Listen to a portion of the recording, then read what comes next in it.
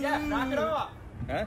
Hey, Billy, shut up. You know what? Hey, hey, Jeff, Billy, this is part of my Jeff, vocal training. You know I have a tight esophagus. I have to stretch it out every day. And and I, this is my time. I, I'll just keep singing. I don't care. Ooh, ooh. You can't stop me, eh? Shut up. Woo!